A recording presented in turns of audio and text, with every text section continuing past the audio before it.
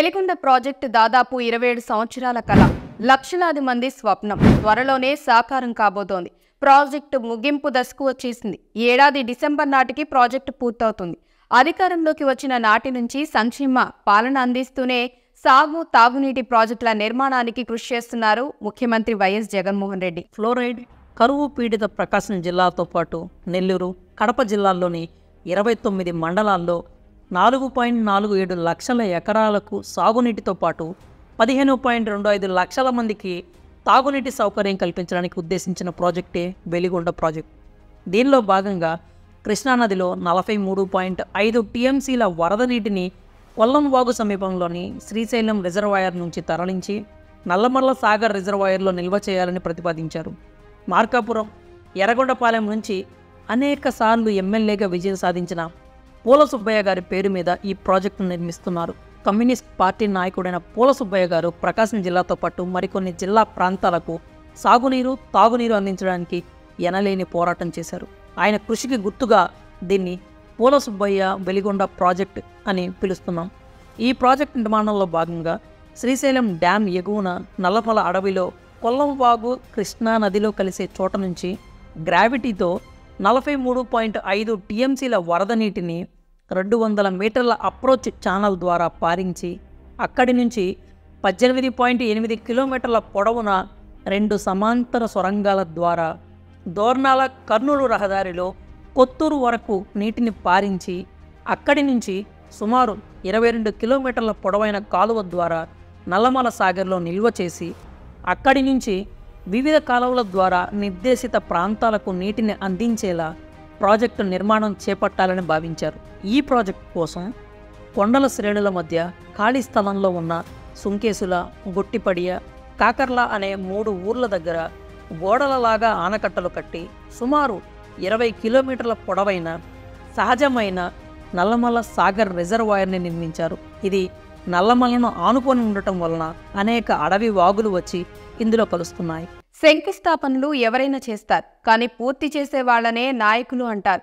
చంద్రబాబుకి మొదలు పెట్టడం తెలిస్తే దాన్ని ఫినిష్ చేయటం జగన్కి తెలుసు. వెలుగొండ ప్రాజెక్ట్కి శంకుస్థాపన చేసింది చంద్రబాబే అయినా దాన్ని ఫినిష్ చేసేది మాత్రం జగనే. కానీ శంకుస్థాపన చేసిన బాబుకి మాత్రం ఓ రేంజ్లో ఎలివేషన్స్ ఇస్తుంది పచ్చ మీడియా. వైసీపీ అధికారంలోకి వచ్చిన నాటి నుంచి ప్రభుత్వం మీద విషం కక్కే పచ్చ మీడియా మరోసారి తన పుట్టిల బుద్ధి చాటుకుంది. ముగింపు దశకు చేరుకున్న వెలుగొండ ప్రాజెక్టుపై విషం చిమ్మింది.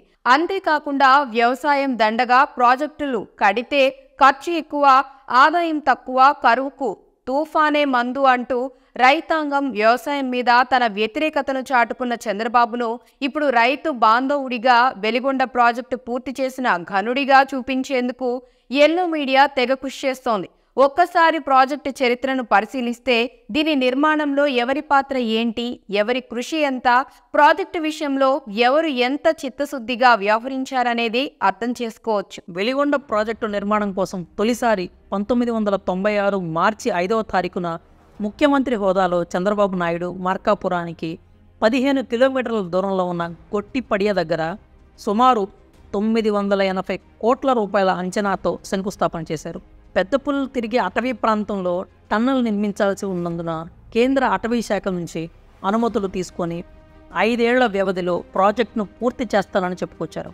కానీ నాలుగు సంవత్సరాల పాటు అనగా రెండు వేల సంవత్సరం వరకు కూడా కేంద్ర అటవీ శాఖ నుంచి అనుమతులు తీసుకురాలేదు. రెండు వేల ఒకటిలో టెక్నికల్ అడ్వైజరీ కమిటీ వేశారు. కమిటీ రిపోర్ట్ ఇచ్చిన తర్వాత ఒక స్విట్జర్లాండ్ కంపెనీకి రెండున్నర కోట్ల రూపాయల బడ్జెట్తో టీపీఆర్ తయారు చేయాల్సిందిగా కాంట్రాక్ట్ ఇచ్చారు. కానీ వాళ్ళు పనులు ప్రారంభించలేదు.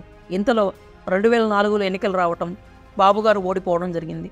చంద్రబాబు తొలిసారి సీఎం అయినప్పుడు శంకుస్థాపన జరిగిన ప్రాజెక్టు మరోసారి ముఖ్యమంత్రిగా గెలిచినా కూడా పూర్తి కాలేదు. పైగా బాబు సీఎంగా చేసిన ఈ తొమ్మిది సంవత్సరాల పాలనలో ప్రాజెక్టు కోసం ఖర్చు చేసింది కేవలం పది లక్షల రూపాయలు మాత్రమే. సొంత హామకు వెన్నుపోటు పొడిచి టీడీపీ దక్కించుకున్న చంద్రబాబు ఆ తరువాత వచ్చిన పంతొమ్మిది వందల తొంభై ఆరు ఎన్నికల్లో ప్రజల దృష్టిని మరల్చడం కోసం వెలిగొండతో పాటు అనేక ప్రాజెక్టులకు శంకుస్థాపన చేశారు. కానీ అవన్నీ రాళ్ళ వరకే పరిమితమయ్యాయి. చంద్రబాబు హయాంలో ప్రారంభమై తొమ్మిదేళ్ళ పాటు ఎలాంటి పురోగతి లేని వెలిగొండ ప్రాజెక్ట్ వైఎస్ఆర్ అధికారంలోకి వచ్చాక ముందుకు సాగింది.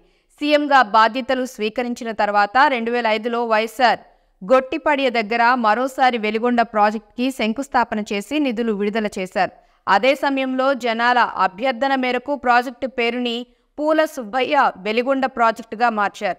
వైఎస్ఆర్ పూర్తి చేసేవారే కానీ ఆయన మరణంతో ప్రాజెక్టుకి గ్రహణం పట్టింది. మొదట పంతొమ్మిది వందల తొంభై ఆరులో తొమ్మిది వందల ఎనభై కోట్ల అంచనాతో ఉన్న ప్రాజెక్టు రెండు వేల ఐదు నాటికి ఐదు వేల ఐదు వందల కోట్లకు చేరింది. రెండు వేల ఐదు నుంచి రెండు వేల తొమ్మిది వరకు రిజర్వాయర్ కాలువలు పైప్లైన్ల నిర్మాణ పనులు చేసుకుంటూ వచ్చారు. అయితే రెండు వేల తొమ్మిది సెప్టెంబర్ రెండున వైఎస్ రాజశేఖర్ రెడ్డి గారు హెలికాప్టర్ ప్రమాదంలో మృతి చెందడంతో మరోసారి ప్రాజెక్టు పనులకు గ్రహణం పట్టినట్లయింది. రాష్ట్ర విభజన తరువాత రెండు వేల పద్నాలుగులో చంద్రబాబు మరోసారి అధికారం చేపట్టే నాటికి ప్రాజెక్టు పనుల్లో అరవై మూడు శాతం పూర్తయ్యాయి. కానీ నీటిని నది నుంచి అడవిని దాటించి మైదానానికి తీసుకురావాల్సిన సొరంగాల పనులు పూర్తి కాలేదు. బాబు అధికారం చేపట్టే నాటికి ఒకటో సొరంగం ఏడు పాయింట్ రెండు ఒకటి నాలుగు కిలోమీటర్లు మిగిలిపోయి ఉండగా రెండవ సొరంగం దాదాపు పది పాయింట్ సున్నా ఐదు కిలోమీటర్లు తవ్వాల్సి ఉంది. వీటిని తవ్వటానికి రెండు వేల ఆరులో జర్మనీ నుంచి మిషనరీ తెప్పించారు. కానీ అవి తరచుగా సతాయించేవి. వాటిని బాగు చేయడానికి నెలల సమయం పట్టడమే కాక ప్రతిసారి జర్మనీ నుంచి ఇంజనీర్లు రావాల్సి వచ్చేది. పైగా మిషన్లను అడవిలోకి చేర్చడానికి కూడా చాలా ఇబ్బంది పడాల్సిన పరిస్థితి. వెలిగొండ ప్రాజెక్ట్ నిర్మాణానికి ప్రజలు చంద్రబాబుకి తొమ్మిదేళ్ళు టైం ఇచ్చినా కూడా ఆయన చేసిందేమీ లేదు. పైపెచ్చు అంతా ఆయనే చేసినట్లు పచ్చ మీడియా ఊదరగొడుతోంది. వెలిగొండ ప్రాజెక్టు వల్ల ఉపయోగం లేదన్నట్లు మాట్లాడిన బాబే ఆ ప్రాజెక్టు పేరు చెప్పుకొని కమిషన్లు దండుకున్నారు. రెండు వేల పద్నాలుగులో సీఎంగా బాధ్యతలు స్వీకరించిన తరువాత వెలిగొండ ప్రాజెక్టు మొదటి దశ పనులు ఏడాదిలోపు పూర్తి చేసి నీళ్ళు అందిస్తామని అసెంబ్లీ సాక్షిగా ప్రకటించారు చంద్రబాబు. ఎప్పటిలాగానే ప్రకటనలకే పరిమితమయ్యారు. అంతేకాక అధికారంలో ఉన్నన్ని రోజులు వెలిగొండ ప్రాజెక్టును తన ధనార్జనకు వాడుకున్నారు. దీనిలో భాగంగా రెండో టన్నల్ నిర్మాణ పనులు చేస్తున్న కాంట్రాక్టర్ను తొలగించి ప్రాజెక్టు అంచనాలు విపరీతంగా పెంచి తన బినామీ అప్పటి టీడీపీ ఎంపీ సీఎం రమేష్కు చెందిన రిత్విక్ సంస్థకు అప్పగించారు. పైగా ధరల సర్దుబాటు అంటూ జీవో ఇచ్చి కాంట్రాక్టర్లకు ఉత్తినే ఆరు వందల యాభై కోట్లకు పైగా దోచిపెట్టారు చంద్రబాబు. టీబీఎంల మరమ్మతుల కోసం మరో అరవై ఆరు పాయింట్ నాలుగు నాలుగు కోట్ల రూపాయల నిధులు విడుదల చేసి కమిషన్లు దండుకున్నారు చంద్రబాబు. చంద్రబాబు ఐదేళ్ళ పాలనలో మొదటి సొరంగం తవ్వింది అక్షరాల నాలుగు పాయింట్ మూడు మూడు ఒక్క కిలోమీటర్లు. అనగా రోజుకు సగటున రెండు పాయింట్ నాలుగు ఒక్క మీటర్ల మేర మాత్రమే. ఇక రెండో సొరంగం దాదాపు ఏడు పాయింట్ ఐదు కిలోమీటర్లు కాగా దాన్ని కూడా రెండు పాయింట్ మూడు ఐదు ఐదు కిలోమీటర్లు అనగా సగటున రోజుకు ఒకటి పాయింట్ మూడు ఒక్క మీటర్లు మాత్రమే తవ్వారు. ఈ కాస్త తవ్విన దానికే టీడీపీ నేతలు పచ్చ మీడియా చంద్రబాబే ప్రాజెక్టులో డెబ్బై శాతం పూర్తి చేశారంటూ అబద్ధాలు ప్రచారం చేసుకుంటున్నారు. నాడు వైఎస్ఆర్ పూర్తి చేద్దామనుకున్న ప్రాజెక్ట్ని ఆయన వారసుడు జగన్ అధికారంలోకి వచ్చాక పూర్తి చేసే బాధ్యతలు చేపట్టారు.